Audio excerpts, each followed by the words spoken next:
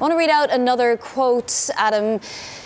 The author of obviously Crashed, which is coming out, it'll be on your shelves next week. All of the translations are going to be out within the next six weeks. But here is a quote In the 10 years since the financial crisis of 2008, the idea that the economy is a realm beyond politics or the play of international power has been exposed as a self serving illusion. Donald Trump is the most spectacular manifestation of that disillusionment and the one that matters most. He is an outright nationalist, pushing against the trend of globalization. He has little respect for markets unless they deliver the outcomes he likes. How would President Trump have dealt with the crisis of 2008? sociales.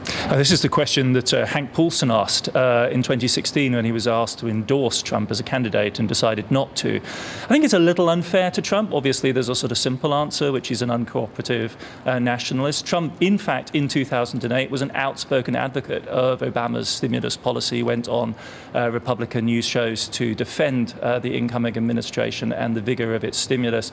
Trump's an interventionist, I think. The question really is whether his interventionism would permit him also to think hard about the international dimensions of the crisis, which were key in 2008.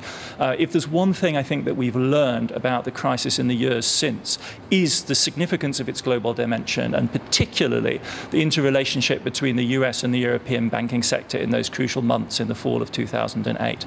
And what really made the difference compared to, say, the Great Depression of the early 30s was the ability of the Fed at that moment to end as a lender of last resort to the entire dollar based global banking system. That, I think, is really the trillion dollar question about any future management of global financial crises as well. Does the Fed, do the US authorities, the national authorities of the US, have the license to do what's necessary to stabilize the global economy. They did in 2008.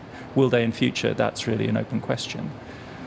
Adam, I'm also looking at central bank policy and not just the Fed, but across the world at the moment. How now, when we're looking for normalization, that has such international ramifications. I'm looking at GMM, which shows us how the bond yields are all spiking today on the back of expectations that the BOJ might start to fine tune their guidance tomorrow. And we might start to see any hint of normalization from Japan as well. This has huge global effects.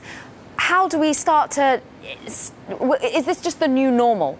Well, it's very difficult to know what normal means anymore, isn't it? Since 2008, um, the entire global money machine has been subject to massive intervention by the central banks. And even when they're not intervening, we're asking why they're not intervening. So normalization will never mean quite the same thing again. It's a little bit like paradise. Once you've eaten that apple, you never really get back to innocence.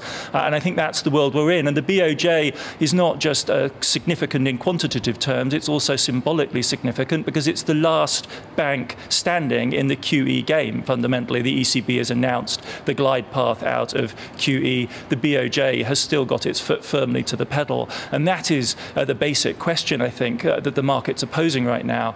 Uh, will the Japanese ease up? The question, of course, is uh, can they ease up given their commitment to a 2% inflation target, which they're well away from, well away from achieving? So that, I think, is the, the dilemma. Can they keep going uh, faced with the side effects, the damaging consequences, the distortions created by the enormous enormous monetary expansion that they've engaged in.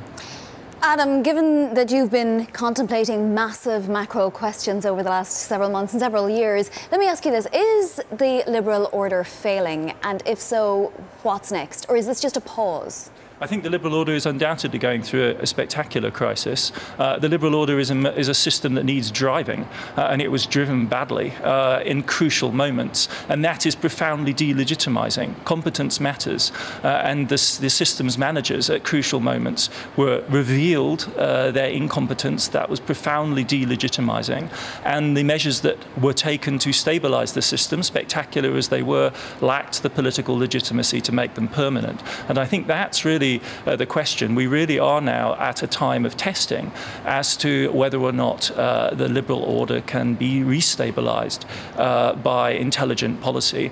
Um, and that, I think, is really the fundamental question facing Europe, the United States, Japan, and their partners in East Asia.